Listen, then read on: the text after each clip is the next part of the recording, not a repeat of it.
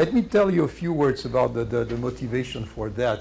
Uh, that actually started from a, a, chapter in the new uh, handbook for uh, uh handbook of inequality, uh, which which is edited by Tony Atkinson and François Bourguignon, and they asked us to write a chapter on intra-household inequality. Um, so it's it's not only conceptual. It's not only how should we think about intra-household inequality. It's also how do we, in practice, measure intra-household inequality in a kind of realistic model. By realistic, I mean we're not going to use a model in which there is only one commodity. Or we're not going to use a model in which all commodities are public or all commodities are private. We, we want to use something that looks a little bit like what reality is like. Uh, okay, the introduction. Now, those, the, the, first time I presented this, I was in front of uh, inequality people. So the, this slide is relevant for them. It might not be that relevant for this audience because what I'm going to say is something we, we're all convinced of. But you know, one thing that, I, that makes me a little bit nervous are statements like, uh, I quote, one third of the increase in inequality between, uh, between 1980 and 2000 is due to the increase in single uh, person families, right? Which is something that you find a lot in the literature of inequality. Now let's take the extreme case. Let, let me take an economy with, in, in, which all couples are identical, each of them has an equal, uh, equal to 100. And let me make an assumption that I don't like, that I'm not going to make, and actually all of my talk will be about we, why we should not make this assumption, but that's just for the sake of presentation. Let's assume that there is only one commodity, it's privately consumed, there are no externalities, no economies of scale, whatever. So in each couple, the sum of individual consumption equals the couple total income. So, you know, that's the simplest possible case. Actually, it's way too. Now, you would say, what's the inequality in this economy? You would say it's zero. I have a bunch of couples that are identical, zero inequality. Let's introduce divorce. Let's say some divorce, and when, whenever they divorce, the husband gets 75 and the wife, get, the wife gets 25. Now we're in a new situation in which we have couples and then we have singles. Now we have inequality. Now we have poverty. Actually, those, those women are, are poor in the technical sense and so on. Now, this conclusion that before there was no inequality, now there is inequality, before there was no poverty, now there is poverty, is entirely due to one implicit assumption, which is while those people were married, the divi division of resources between them was 50-50. And of course, there is no reason to make this assumption. From the empirical point of view, we know that it's not the case. And from a theoretical point of view, it's very hard to think of any reasonable model in which there will be bargaining or something like this, in which if they divorce, he gets 75 and she gets 25, still while they are married, they share equally. You know, it's, it, it, it just, it, it's not even individually rational in this kind of model. Huh? No, that's my point. You know, I'm going to talk about public good. Here I'm assuming that everything is private. No, no that's the point. That, I mean, I mean, if you're done, that's fine, but just realistic, just as you were saying, it's not realistic if there's only one. This is absolutely not realistic. It's just to convince. I mean, it's very unrealistic to think of a lot of Oh, well, look, there will, I will give you a list of commodities. Some will be private, some will be public. And I want my technique to apply whatever assumption you're making on this. Now, you're right that I don't want to take a stand to use a method that will be true only if everything is private or if, everything is public. So we, we need to think in a, in a, in a say, slightly more, uh, but, but, the point actually, the point of all of this is simply, if you you're serious about inequality, you cannot uh, afford to just ignore what's going on within the household. Because this, this conclusion that you see published a lot, that inequality has increased a lot over the last 20 years, it, they, they may, be, may be completely flawed. They may simply be due to the fact that while they are married, we're not looking what's, what's going on within marriage. The moment they divorce, it's, it's, it becomes obvious, and we cannot, we, we cannot ignore that. But maybe the inequality was already there. We, we're, we're simply failing to see it. Now, here are the, the kind of, uh, of problems. The, we, we, uh, when you think about those, those, those kind of, of issues, we have conceptual difficulties and then you have empirical difficulties. Uh, the conceptual issues, they are standard family economic problem, in particular, public goods. uh, how do you measure, how do you think of, and more precisely, how do you measure intra-household inequality in the world when they are public good? By the way, that's a question that was initially in the literature on inequality. In other words, there is something that you see in this literature, which is if I compare inequality in, or in, uh, in, uh, in Sweden and in, uh, and in South Korea, for instance, I should take into account that the percentage of public consumption is much larger in Sweden, and that must have an impact. The fact that you have free access to health, education, and so on must have an impact on inequality. That's something that in principle I should not ignore, and in practice, everybody ignores it because, you know, there is no agreement on how to do that, and people just look at the, at the inequality of either income or, or private consumption. But that's something that you definitely cannot afford to, to ignore when you have a household, because part of the reason why you have a household is that they are public good. And actually, I would be willing, as, as Raquel said, I would be willing to accept that most of the most of the consumption is at least partly public. So what do we do? At the end, this will take us to a question which also was implicit in the literature, but now becomes very explicit. What kind of inequality are we interested in? Are we interested in inequality of income, inequality in consumption, or inequality in welfare? And as you will see from a conceptual point of view, there is a kind of strange relationship between them. The relationship, the relationship is even stranger when you think in terms of the second problem, which is measurement. So First of all, I want a definition or a measure of inequality which is conceptually sound, but I want it to be useful in the sense that I want to use a concept that I can take to data. If I have a concept which is perfect, and, but there is no chance that I will ever be able to identify anything, then it's not very useful. So I have measurement issues. Now, of course, the, the, the, the problem is that intra-household allocation is not fully observable, but we've made progresses recently. Uh, so what I'm going to tell you is exactly at some point I will spend some time explaining what's identifiable and what kind of data you need to identify. In all cases, you need, uh, you need a model. You need a model of household behavior. There is no way you can do that without, without a structural model.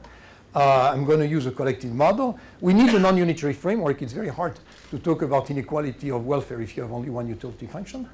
Uh, we need a, a, model in which we have a general characterization of what can be identified under which assumption which we have in the collective model, but not in any alternative that I know of. Uh, so the collective encompasses the unitary is the particular case, bargaining, equilibrium, separate sphere, and so on and so forth. Uh, and what, what you will see is that there are some basic concepts of the collective model that have a direct interpretation in terms of inequality. So, the roadmap. I will talk about the conceptual framework. I will talk essentially, uh, we don't have much time, so we talk essentially about the public good issue. It could be extended to household production. Uh, we'll not talk about this, but this is feasible. I will present the general model of household decision that I'm going to use, and then I will introduce our main, hopefully our main contribution to the debate, which is what we call the MMW index. And MMW stands for Money Metric Welfare Index. And then I will talk about what you can identify, uh, and I will give you some empirical results. Let's start with household decision. Yes. Yes, and again, I mean, in principle, you know, you can, I mean, which is another old debate of the inequality that we should not look at inequality now, we should look at inequality of lifetime utilities or things like this. Now, in principle, this kind of framework, it could be extended. We don't do it, and identification is much more of a problem. But identification is, is more of a problem if you use the dynamic version, even when you look at, at couples. You know, even without opening the black box of the household, you're, but, but in principle, you're exactly right. I'm, I'm not going to do it here. But. So what kind of model? I have public goods, capital N of them. I have private goods. So uh, here I is the index of the commodity and A is the index of the agent. I will mostly talk about couples, but the model applies to, to, uh, to families with any number of people. And so what, that's, that's what we call an allocation. Preferences, I'm going to use egoistic utility. You can, you can use uh, altruistic or caring utility of this type. Essentially, what I'm assuming is efficiency, and anything that's efficient with those utilities must be efficient with those. So the, so the, the restriction I'm going to use would work in any case. Uh, The utilities are ordinarily defined. I'm just looking at preferences. In particular, there might, first of all, I'm not assuming that that's, that's the utility that you have when you're married. I'm not assuming that it's the same as what you would have if you were single. And second, the utility, the level of utility that you get might be increased by the simple fact that you're married. Uh, I'm just looking at preferences. So I don't want to forbid the level of utility to be a function of whether you're married or not. Efficiency means that there exists Pareto weight and you're maximizing a weighted sum of Pareto weights. Now, what about those weights? They might be constant. If they, if they are constant, then it's a unitary, particular version of the unitary model, but they might depend on anything. They might depend on prices, they might depend on incomes. There. Yes? How hard is the warranty efficiency Huh? How hard is the warranty efficiency? Is that a philosophical question? No, or? Saying that, you know, when I tell something about whether the problems of private information can be pervasive. So- give money to my kids, that's, that's what I'm saying.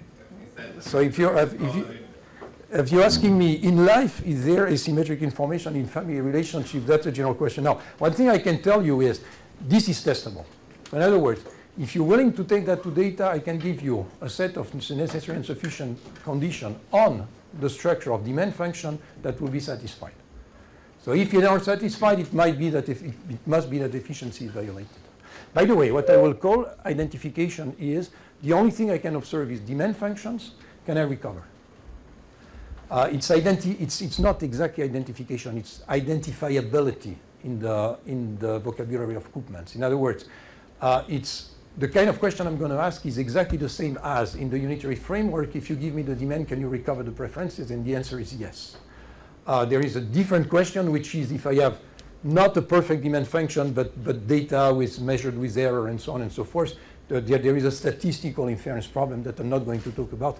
Time missing. It's not that it's not important, but that I won't have time to talk about this. Yes. There- There is a paper out there that in my mind seems to cover a lot of the same territory, and uh, I was just wondering in what sense it, obviously it must fail in some way to deal with the issues that you're interested in, but these insights, at least. Oh, I'm going to talk a lot about these insights. Okay. Yes, yeah, yeah, no, that's absolutely relevant. And actually, I'm concluding, time permitting, on a graph uh, from the Lise and Seitz paper. Yeah, yeah, that's exactly what I have in mind. Um, okay. Two notions. One is the notion of collective indirect utility. Conceptually, it's very simple. Those people, they make decision. They have a, decision-making rule. I don't know what it is. The only assumption I'm making it's efficient, but of course there are zillions of efficient, Pareto efficient rules.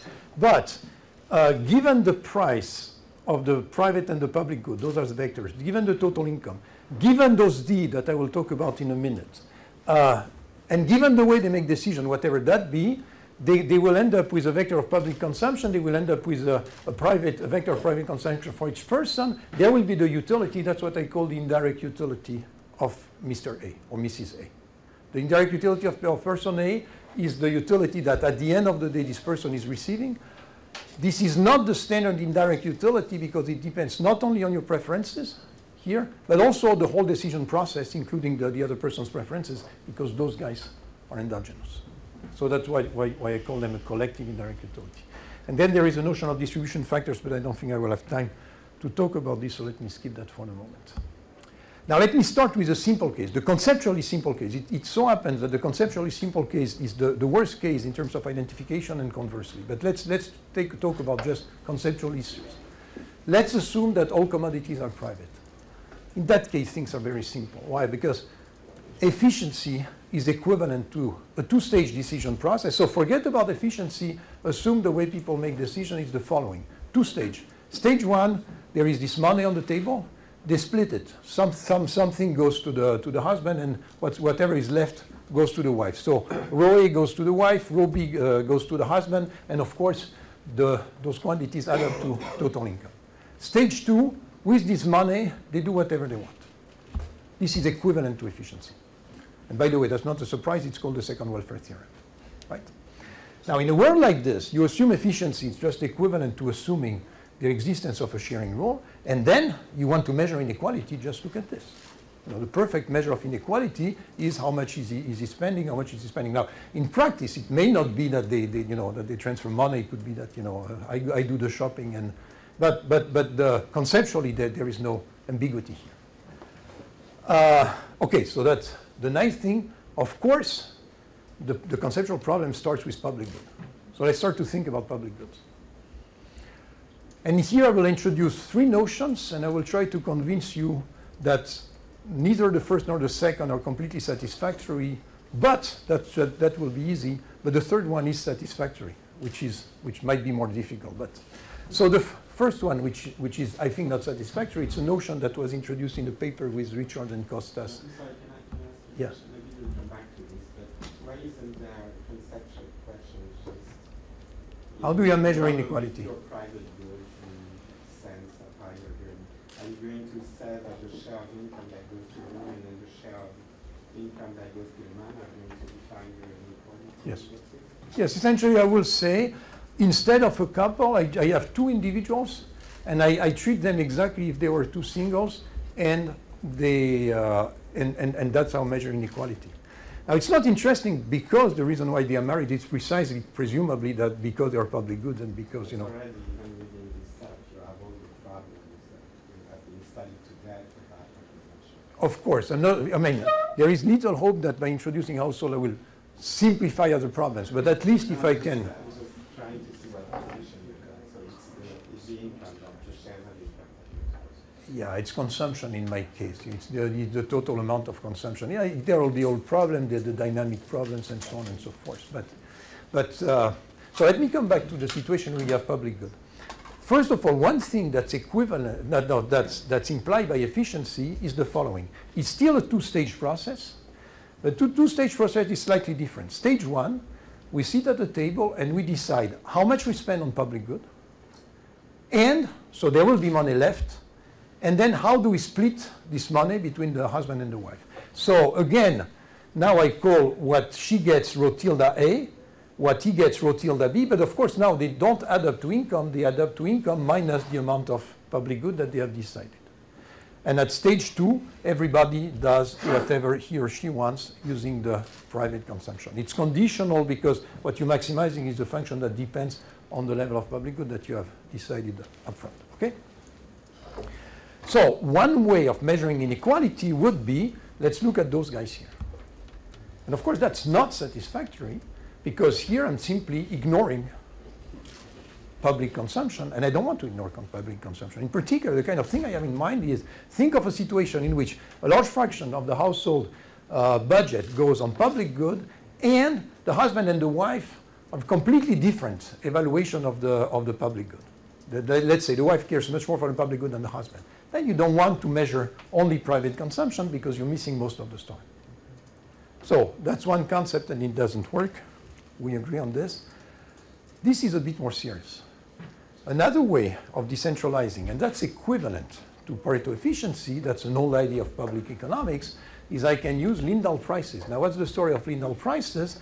Now, uh, for the public good, I'm defining personal prices. So look at the budget constraints. So it's each person will, the, the income, Y, will be split between individuals. So now the, those rho star add up to Y.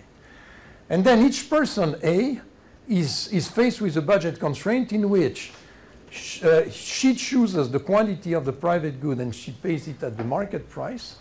And then she doesn't choose the quantity of the public good, or she, everybody will choose the same quantity of the public good, but she pays it at a personal price. And we know that this is equivalent to efficiency. Any efficient allocation can be decentralized using Pareto, uh, using Lindahl prices. Conversely, if you take any set of prices that add up, the efficiency condition is that the sum of individual prices should be the market price. If that's the case, then the outcome will be efficient. So one thing you could think of is, let's look at this. This is a good candidate for inequality, right? Because that's the value of how much they're going to spend at the end of the day. Still, there is a problem, which is they don't pay the same price. Now, why is it a problem? Assume that I find zero inequality. Assume that I find that they have exactly the same amount. But she pays a much larger price than he does, which simply means that she, cares more about the public good than he does. That you know the price is the marginal willingness to pay at equilibrium. Then you cannot conclude that there is zero inequality because if two people have the same income and they buy the same set of commodities, but one person pays a higher price than the other, in a sense, the person who pays a higher price is worse off in some sense. So-. Let me put it, uh, think in terms of welfare. Assume that those people, they have exactly, uh, well, put yourself in two different situations. One situation is you have an income of 10 and you buy five, five commodities, the price of the fifth commodity is 2. You put yourself in exactly the same situation, you still have an income of 10, but the price of the fifth commodity is 1. Would you say that you're in exactly as well off in the, in the two situations?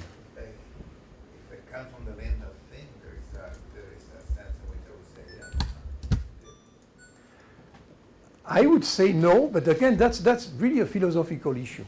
So you mean you're, uh, I would say, saying that if you and I have exactly the same income, but everything I buy, I pay more than you do, we're not Yeah, equal. It's not everything, it's just a Ye- good- good. Yeah, but it's the public good. But you know, the, the, the expenditures on public good can be 90% of total expenditures. Could be everything. It's factoring your marginal utility and Oh, of course. We're. Of course. I mean, in that sense, yeah, because you're valuing it as twice more. Yeah, but you could say, since I value it more, I pay more. That's fine. That's, that's what it should be, but I should be compensated for that. Equality means, You're being compensated in well, yeah. let, let me start, let me restate it slightly differently and then we come back to the discussion. But assume that I ask myself, if you give me this number here, uh, can you find my utility? And the answer is no. If I give you this number, there is no way you can find the level of utility I'm going to reach unless you know the utility, the utility function of my partner. In other words, if, you, if I'm telling Mrs. Y is receiving a rho star A of 10, you cannot infer from this, from this information, even if you know the market prices and everything, you cannot infer from this information the level of utility reached by Mrs. A because you need to know who the partner is. Because the only way you, you, you, you can know the price that she's paying, the price that she's paying depends on who the partner is. And I would like something that does not depend on that. that that's an alternative definition. You know what? Why don't I move to my third definition and then we might come back on whether you prefer the third one or the second one. And then I will give you, I move to the third definition, I give you an example, and then once we have the example, we, we come back to the, to the discussion. How much time do I have? 27, 40, ah, that's great. That's my definition, our definition. That's the money metric welfare index. So, the right-hand side is the indirect utility. So at the end of the day, my utility will depend on the rho star that I just defined, on the price I pay for the private good, which is the market price, and on my personal price for the public good, right? That's my utility. What I'm saying is, how much money should I need to get exactly the same utility level if I was to pay the public good at the full value? One remark, if I add, which I don't want to do at that point, but if I was to add the following assumption, your utility is the same when you're married as when you're single, then the natural interpretation would be how much would you need as a single to have the same utility as the level of utility that you currently have in the household. And that will be the notion of indifference scale that we have in a paper with uh, Martin Browning and, uh, and Arthur Lewbel. But I don't need this assumption. I don't need to compare my utility when single with my utility when in a couple. I'm using the same utility function, which is the one I had at a couple, but I ask myself, that's an hypothetical experiment, a thought experiment, assume that instead of paying a personal price, I was to pay the full market price. How much money would I need to reach this? And that's what, I, what we suggest to use as the measure of inequality. We compare MA with MB. In other words, what I'm doing here is the following. The main problem I, I, had with the previous one is that those people were not paying the same price. Why don't you, don't, why don't we use a money metric equivalent by transforming everything to a common set of price, which could be anything, but it makes a lot of sense uh, using the market prices. You might, by the way, instead of P, if you have two people, you could put P over two or something like this. Doesn't, doesn't matter. But the point is, I want to refer everybody to the same set of prices. So the, two metrics are going to uh, potentially be very different. Let me show you. Uh, absolutely, how much- absolutely. How much heterogeneity in utility functions across families. Absolutely. Uh, even within families. Starting within families. So let me give you an example. That's exactly right. So I take the simplest possible example. Two commodities, one private good, one public good. Uh, Cobb Douglas, the coefficients add up to one. So, you know, those utilities are pretty much the same, except that I have two coefficients. And in practice, what I'm going to do is I'm going to use a two here and a one half here. So the wife put two third, but the, the, the weight the wife puts on the public good is twice what she puts on the private good, and the husband is the opposite. He puts, puts two thirds on the private good and one third on the, on the public good. Okay? Now, you can do the computation, you can compute indirect utility, you can compute the demand function. Uh, of course, everything depends on you, depends on which of the Pareto efficient allocation you're choosing. And I'm going to make my life simple by assuming mu equal to 1. In a sense, this sounds like a lot, very symmetric. I have Cobb Douglas, the coefficients add up to 1, and I put, uh, I put the same Pareto weight on everybody, right? And now let's look what. So those are the concepts. Uh, you know, you can trust me on the computations, but let's, let's see what it gives. So mu equal 1, alpha to beta equal 0.5. Here is what the structure of consumption looks like. 50% of the resources are spent on the public good, and on the remaining 50%, two-thirds are spent on the husband's private consumption and one-third on the wife's private consumption. That, that's what you get with a mu equal to 1. Okay?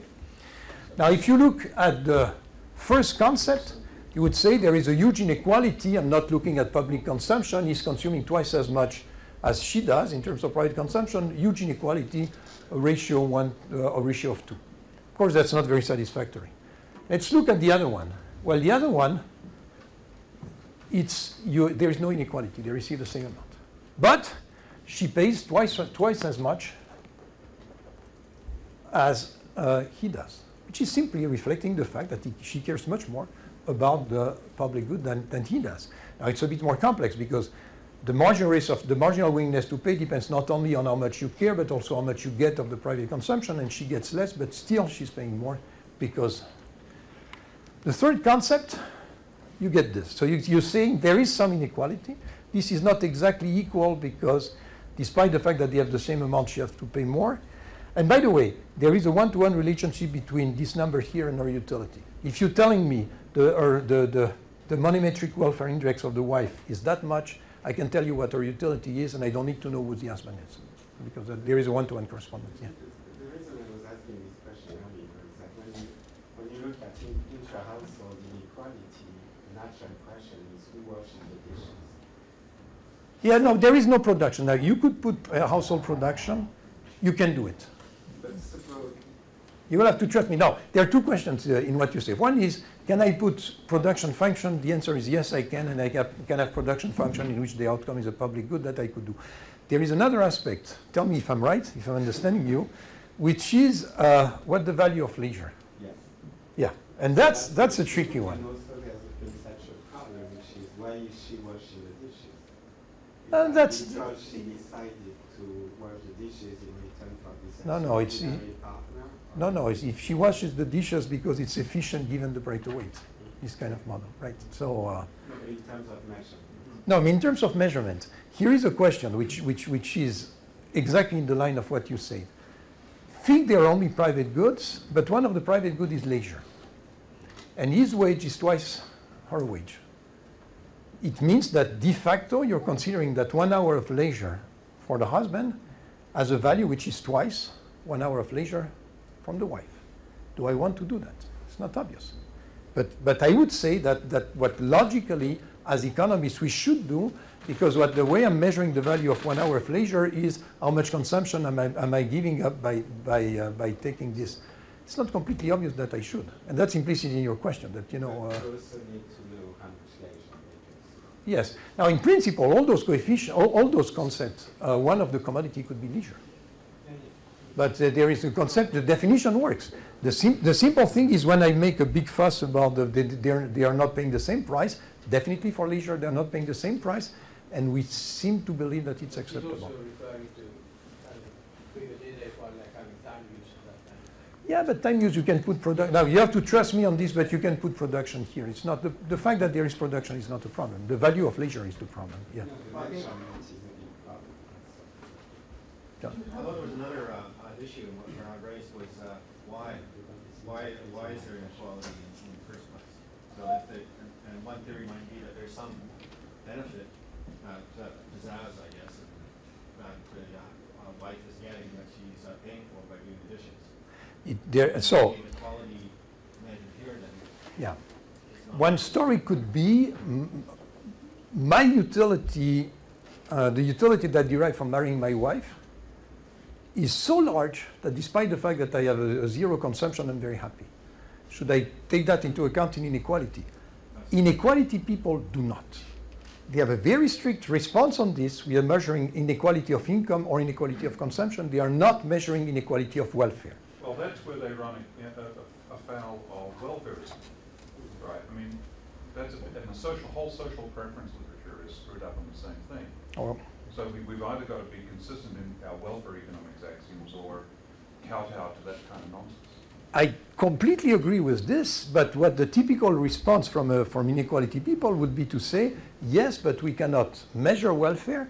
Worse than this, we cannot compare welfare. We don't have the tools that would allow us interpersonal comparison of welfare.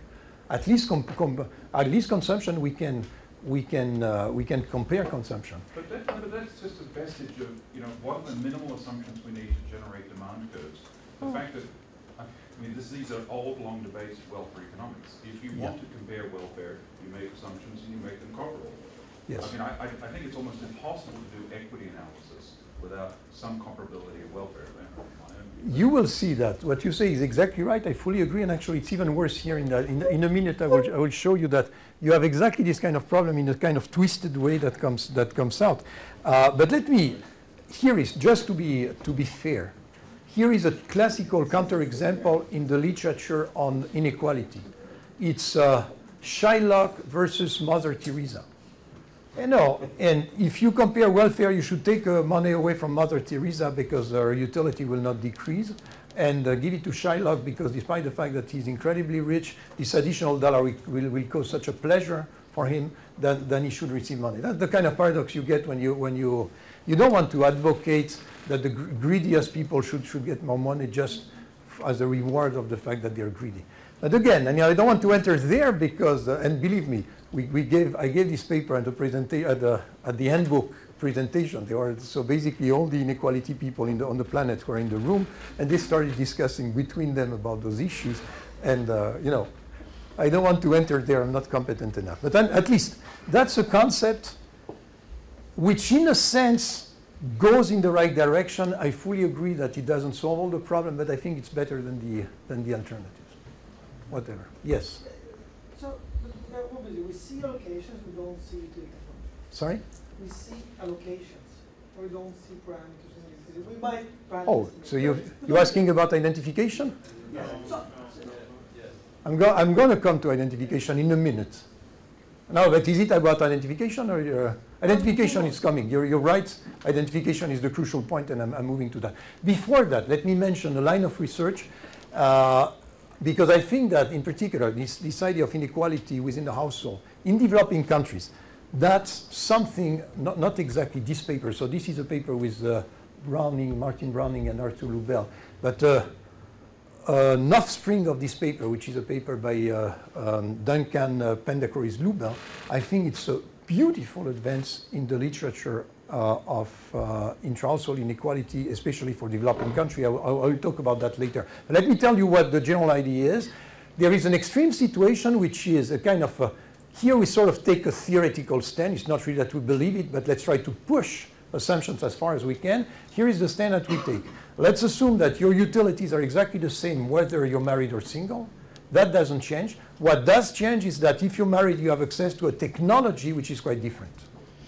And this is, it, in a sense, it's Becker, the Beckerian uh, idea of household production, except that it's not only production in the sense that you, you have to wash the dishes. It's this, and it's also the fact that the, there is some, some way of processing consumption in general uh, that transform what you buy and what you consume.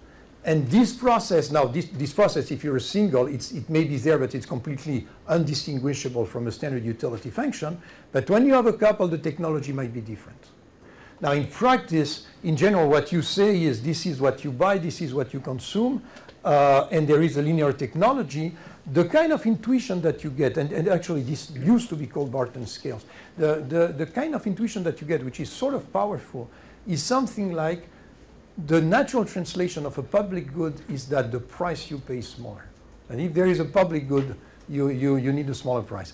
It's not exactly, that's not exactly a public good technology, it's the private good technology with economies of scale. So there is a subtle distinction here, but that's one way. I'll come back to that for the empirical application. Now let's talk about identification. I distinguish, uh, I'm, I'm, I'm going to talk about, well, I'm going to talk about the first two. I'm, I'm, I'm not going to have time to talk about this, but that's, that's a paper that Johan will present tomorrow. But um, what do I, there is pure identification in the collective model and single and couples. Now, pure identification in the collective model, uh, I'll talk about the following question. Assume that you observe a demand function. Demand function, I mean, you observe the demand for each and every commodity as a function of price and income. The aggregate demand, the aggregate demand at household level. What I don't observe is who is consuming what within a household. For the private good, for the public good, everybody consumes everything. Uh, and of course, for the public good, I don't observe the marginal willingness to pay. Right? So the, the household is a black box. I observe a demand function, which is a function of price and income. Can I recover preferences and the sharing? I'm not assuming anything about the relationship between your utility when you're married and your utility when you're single. They might be completely different. They might have zero correlation. The second is what do I buy? How much mileage can I get if, in addition, I'm willing to make the assumption that your preferences when you're when you're uh, single have something to do with your preferences when you're married. And of course, that, that's going to give me a lot of identification power because because then I can use data on single and try controlling for selection biases and everything. Try to use them. And then uh, the third one is. Uh, we can, instead of just looking at what people do and trying to infer the inequality from that, I could be a little bit more ambitious and try to write a model which will theoretically predict what the distribution of intra-household consumption should be, for instance, as stemming from the equilibrium condition. And that's exactly the kind of paper that will be presented tomorrow, so this I'm not going to talk about this. And if I have time, I will show you some empirical results. Now, this is the basic result of all this literature. The one thing I need is one exclusion restriction per agent, which means for each agent there is a commodity that this agent is not consuming, that just does not enter the utility function of this agent. If you're willing to make this assumption, then you exactly identify the collective indirect utility. That's the main result. That's not all of it because now the next step is if you have the collective indirect utility, can you recover the consumption themselves, right? But, uh, but now this, I'm not going to give you the proof, but uh, I can give you references. Now the cool thing is that if you have public goods, that's great because you don't need more than this because the, the indirect utility, there is a one-to-one correspondence between the collective indirect utility and the direct utility. So it means that if everything is public, if I just look at the demand function, I can observe, I can identify, and I have this exclusion restriction, which is here that A does not consume commodity 2 and B does not consume commodity 1. Then I can identify utilities, I can exactly identify Lindahl prices, and I can exactly identify MMWIs. It's not a piece of cake because I need price variation. Of course, if I want to identify utilities, I need price variation. So you need, you know, you need the price variation have to be exogenous, and I have all the, the usual problems of consumer demand. But at least I have a very strong identifiability result. So what kind of data do you have in mind when you use it? Any kind of data in which you have price variations. You know that those people.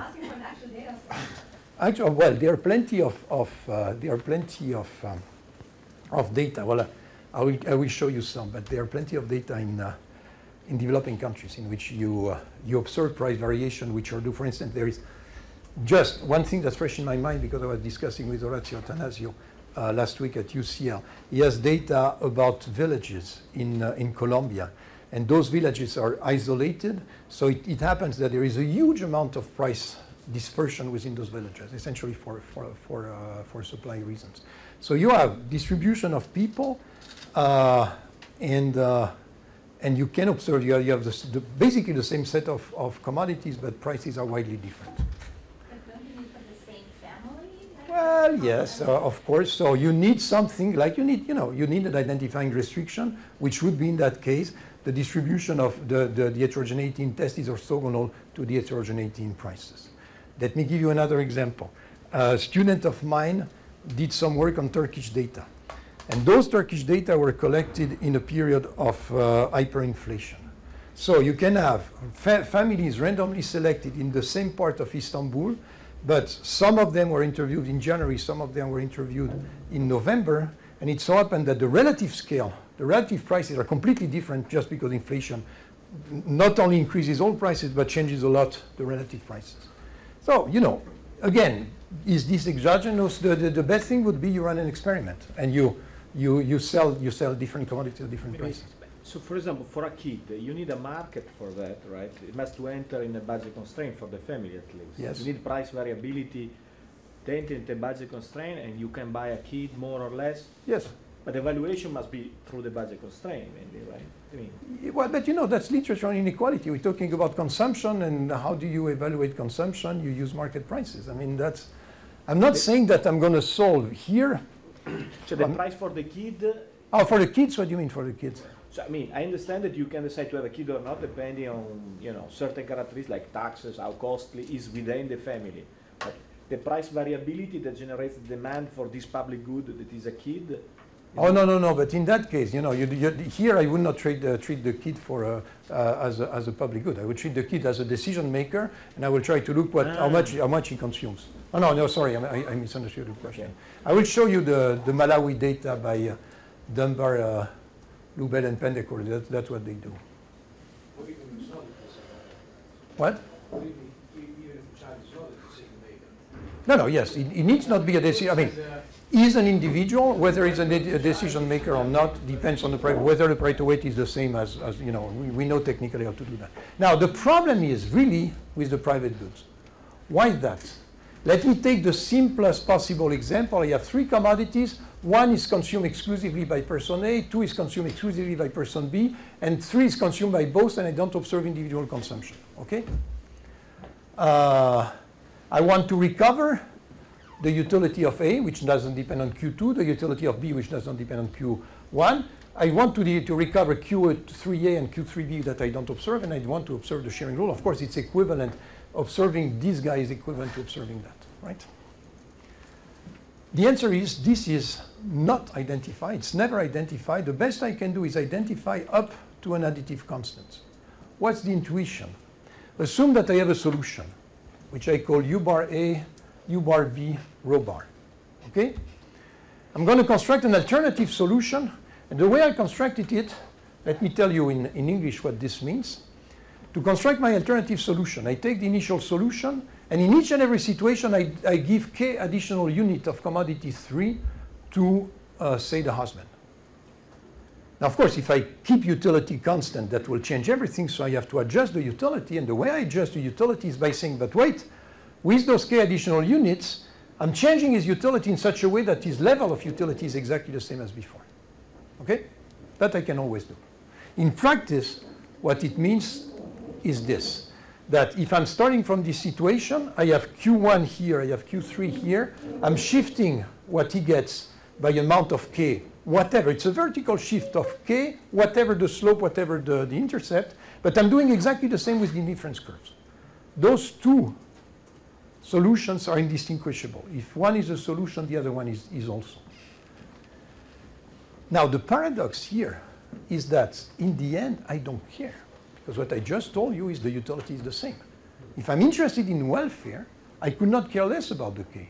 Because the way I've constructed my, my UK utility is by saying, but wait, it receives less, but his, his preferences are different, therefore his utility is unaffected. So coming back to the discussion we had before, if the only thing I care, I care is welfare, I just ignore the K.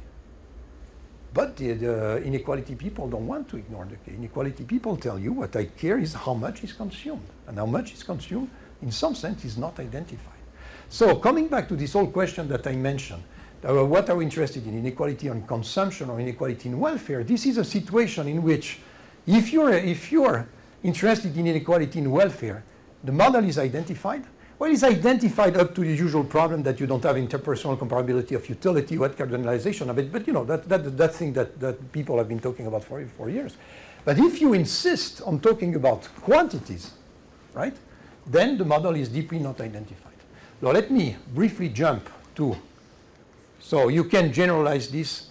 Uh, the situation is not that bad because those are local restrictions. If you introduce global restriction, you might actually be able to identify everything. For instance, so essentially what I'm saying is this is identified up to an additive constant. Actually, when you have many private goods, non-assignable private goods, it's uh, up to a function of those, those private goods. Now, if you have non-negative SG restriction like this, if there is no income, no one can consume anything. Then you pin down everything. But that's, that's really identifying from the, from the corner solution. Now, this is the key to something which is, those of you who are familiar with the literature to reveal preference. Uh, that there is a paradox here because we identify up to a constant, whereas they identify much better than this. They identify up to bounds, and in some cases, the bounds are extremely narrow. There is a recent paper by Cherchye, Durock, um, uh, Lewbel, and Vermeulen in which they, they, they do that on penal data, and they, they identify very narrow bounds. Uh, but of course, it's because when you do reveal preferences, you're not local. By definition, you're using a global tool, and, and so global restriction might help you. You may or may not believe this. Essentially, what I'm saying is I'm going to identify what's going on for large income levels uh, out of a condition which explain what would happen if the income was, was driven to zero. I have to, uh, to be very conf confident in my functional form. There is a literature in which, in addition, so that's identification if you don't want to make assumption relating the utility when single with the utility when married. If you're willing to do that, then there is a literature. Uh, so there is an issue of selection into marriage, and there is a, an, an, issue of change in preferences. There are plenty of solutions. Uh, you can, you can assume, for instance, that part of the utility remains unaffected, that part of the utility is changed by the fact that you're married, but another part is not changed, and that's what you identify. And that's the, the initial version of the Lise and Seitz paper. That's what, that's what they were doing. Uh, or you can use the household technology. I didn't say a, a words about this, and then I will give you a, a, a bunch of graphs just to convince you not to run out before the end of my talk. The graphs are cool, actually. Uh, but before that, you have to, to swallow this. Um, so the, the, when, you when you take the household technology, so remember the idea here is my utility is exactly the same as, as when I was single. So if you want to identify my utility function, just look at the a clone of me who happens to be single. Happens to meaning that you know I have a way of, of dealing with selection and uh, you, you, you, identify from his demand function and then you use this. But there is something in between which is when I am in the couple, I have access to the new technology. Is the new technology identifiable?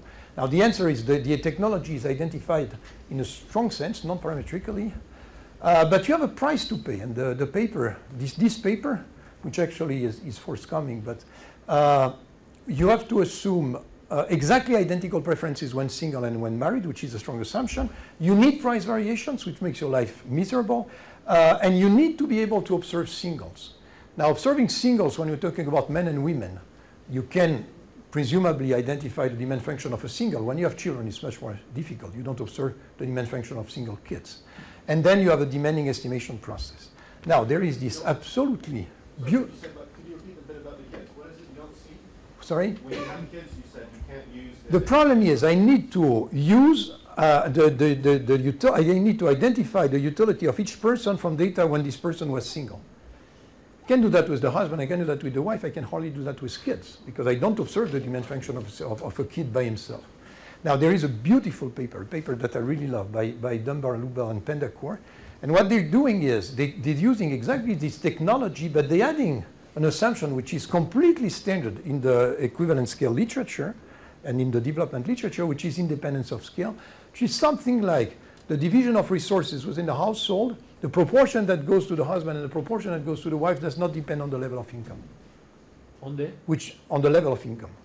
So essentially, if it's 40, it depends on prices, it depends on the bargaining position, it depends on whatever you want, but there is no systematic impact of income, which, by the way, is not rejected by the data. That's something that we, you can test even in the general, in the general framework, and it's not rejected by the data. But if you make this assumption, then you can relax a lot. The only thing you need in their paper, in the published paper in the AER, is you need that the preference, some part of the utility function, which has to do with the preference for adult goods, does not depend on the number of children. It might depend on the presence of children, but not on the number of children. And actually, they can relax that. Now, if you're willing to make this, uh, this assumption and you have a distribution factor, you also get identification. But in that case, you identify everything, not up to a constant. You identify everything. Okay, you're welcome to. Uh, this is something like uh, that I'm not going to talk about. Uh, so the graphs. That's Lise and Seitz. That's the graph that you see usually. So that's, that's the that's the evolution of inequality in the UK between 70 and 2000 using the variance of log consumption as an indicator. This is between households. And you, that's what you usually see, and the conclusion is there is, there's been a huge increase in inequality. But that's their estimate of the, uh, of the inequality, or the evolution of inequality within the household. And when you add up, and it declined a lot. Why that? Or for reasons that are obvious for everyone here because women are working more and they have higher wages. And those, the, this kind of model, what comes out very strongly from this kind of model is that the, what she gets depends a lot on her wage. So if you increase her wage a lot, she will be much more powerful and she will attract a larger fraction, which you can see. Uh, and when you do this estimate and you add up, you find that actually the total inequality, first of all, is much larger than what you thought. That's not surprising because there is an additional layer that you are not considering, which is the intra-household inequality. But in addition, it did not change much over the period. It's, it so happened that the, the increase in inequality across was exactly compensated by the decrease in inequality Do within. they, do they account for children? Yeah, they, they do, but they, now it's not completely clean because they have public good, which you can think of as children, but they use the, actually my method one. They use the private consumption. They should redo it using MMWIs, and, uh, or we might do that, I mean, but. That's the table by Dubar, uh, Dunbar Lewbel Pendakur. Um, and I will stop there. And let me tell you what this is. Those are uh, very poor household in Malawi. One child, two children, three children, four children. They have a structural model. They identify, they show that it's identified. They do plenty of things. But let me give you the, the results. This number here is the percentage of those households below the poverty level. And this is the standard kind of analysis. You look at the, the income or the total consumption of the household. You got those equivalent scales, which, by the way, are very poorly defined. Are, are, uh, but you know that, that's what the, the paper with, uh, Uh, with Browning and, and was there. But anyway, you're using this and you compute how, how many of those households are below the threshold. With their technology, they can do that for each and every person who's in the household. Now, what you say is that when you're saying 85% of those, of those households are below the poverty level, in truth, the picture is quite different. The husband, only, only less than 70% are below the, below the poverty level. But for kids, it's 95%. And also, you can see what happens when you increase the number of children, and you see that the amount, the percentage of, of husband basically doesn't change. What changes a lot is the percentage of women and the percentage of, of children. You know, you got this 9.99. Uh, so it tells you a very, you know, speaking story about inequality within a household. And the last one is something that, that Yoram was going to talk about tomorrow. I'm done. Well, and this, this is irrelevant. Thank you.